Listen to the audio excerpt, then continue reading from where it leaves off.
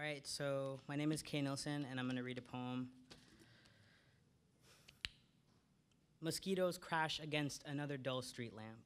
Carne brilliant sizzle lingers over mami's chisme as small men sit on their pickup trucks lighting smoke bombs and rockets in praise of La Virgen Maria. In the iglesia parking lot, Jesus, Jose, and Mariana eating chiles on the steps, ignoring Abuela's urgent calls that Father Carlos is watching them laughing themselves into a second America. Thank you.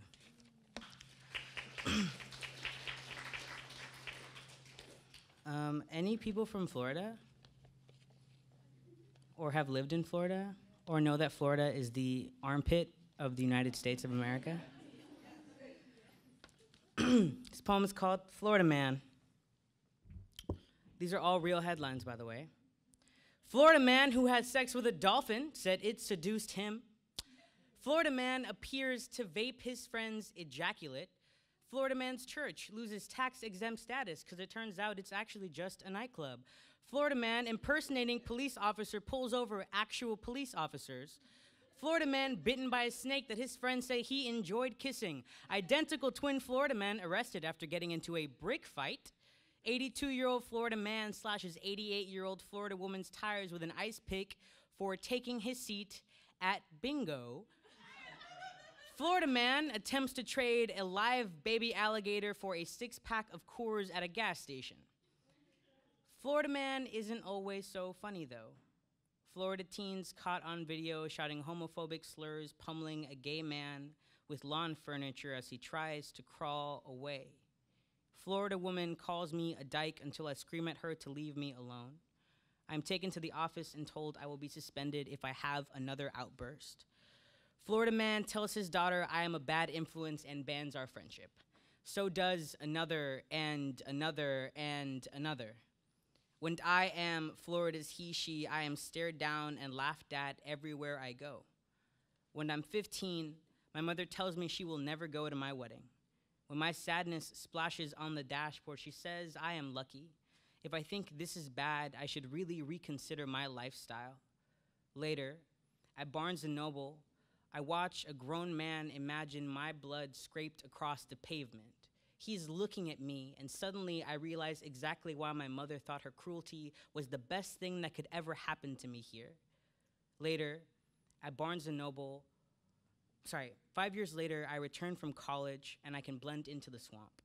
Can walk into any bookstore without, without seeing my obituary flash across another man's knuckles. Last summer, after two years of testosterone, I walk beside another brilliant grave. A kid who could have been me once, all soft skin and swagger, sagging jeans and the power to ignore the sharpened teeth of an entire city. It happens in slow motion. I watch another self lock eyes with a monster inside a father's body.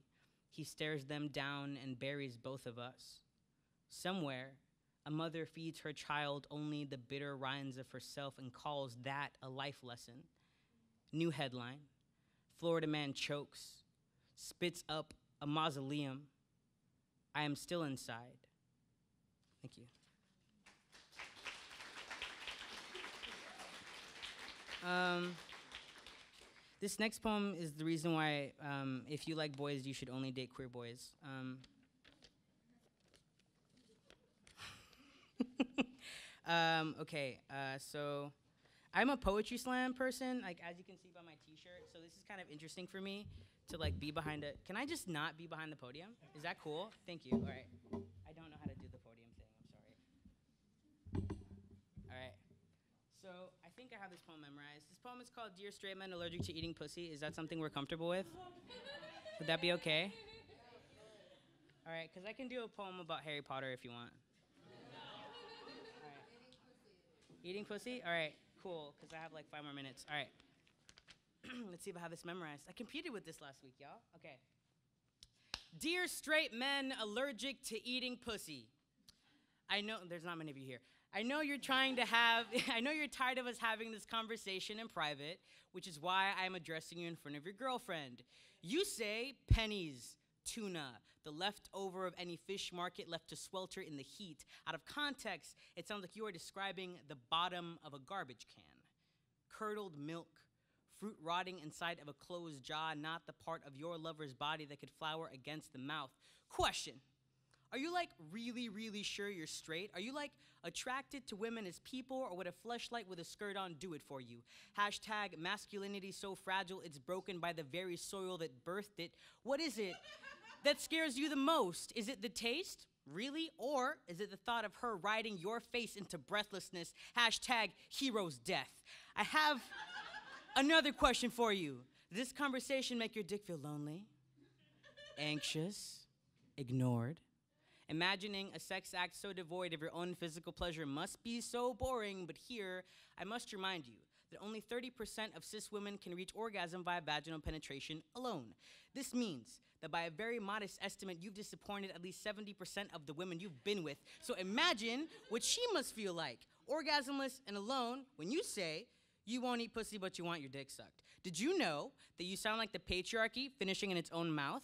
Do you think that dick tastes like roses? Dick tastes like fucking dick, and you are such a fucking jizz mop. I don't even want to tell you what you're missing. But your girlfriend complained to me last night, so let me explain something to you. Eating pussy tastes like my lover's moans. Eating pussy tastes like having your head squeezed so hard by a pair of thighs you've got to wonder how Drake ever made it out alive. Eating pussy is like worshiping in the temple you were raised inside of. Eating pussy tastes like loving your partner enough to help them open up a small universe inside of themselves. Eating pussy tastes like I love you, I love you, I love you. Eating pussy tastes like sex so good you wipe your mouth, then lick that hand clean. Dear fuckface, I know you stopped listening the moment I stopped addressing your penis directly. But once the laughter dies, I want you to imagine every lover you've ever had tell you that your body disgusted them. Imagine that your body is the joke. Thank you. All right. Practice stuff like this. Um, I have one. I have like space. I have one more poem, right? One more. So Harry Potter or a poem about like someone being transphobic and me threatening to stab them. The stab poem? Is this really the okay? Oh, someone said Harry Potter in the back. All right, that's cool. I'll do that one for you later, not during the show because I'm running out of time. Okay, so uh, I have a content warning for this one. Um, if you are triggered by uh, the uh, very intense transphobic language, um, this is going to be in there. So uh, please take care of yourself and take a moment if you need it during my piece. Um, so this happened to me like two years ago, and it sucked. So this poem is called 10 Reactions to Being Told, Where Do You Live? I'm Gonna Follow You, You Dumb Fucking Tranny. One, apologize until you begin to mean it. Two, try not to look him in the eyes. Men like this have no patience for defiance. Don't give him a reason to engrave your epitaph himself. Three, calculate his reach. How long would it take for him to use his meaty paws like a fish hook? Four, don't you know you live here? In the shoulder checks at the supermarket, the glares at the airport, the anger that lingers over the tops of his knuckles. Get comfortable. This is how you learn to breathe under all of that rage. Five, run from him when you can. Six, if your partner is with you, push her forward when she wants to run back and defend you. Watch as his eyes linger over the outline of her body like chalk, like things that stick to your clothes, like honey, like that woman must belong to me. Seven, apologize anyway. Eight, but the next time bring a knife, the one with the wicked mouth. Its selling point being its ability to disembowel a fully grown buck in seconds. Remind him that his name and address are engraved on the blade now nine. The next time he follows you, show him how close to home you are willing to take him. 10. Remember, be humble. This is where you live. Thank you. Out of time? I have one more. All right. So, do we want to do? okay. Um, I'm so I'm indecisive. So, Harry Potter or a poem about an Air Force base. Harry Potter, but it's okay. Air Force. Someone said Air Force. Do you guys? Okay. Do you guys mind if that's not as queer as maybe my other stuff. No, you don't mind? Cool. I'll just do my Harry Potter. Okay, this is what I'm doing. That was a page poem. I'm a stage poet. Okay. Um, Ten years after considering getting a Death Eater tattoo, or Severus Snape, the brown boy. I'd imagined it so many times it felt like it already happened. Here, black and stark against my father's least successful heirloom. When I read the story, I recognize myself immediately the half blood, rejected and arrogant, half mud, half magic, half man, half nothing.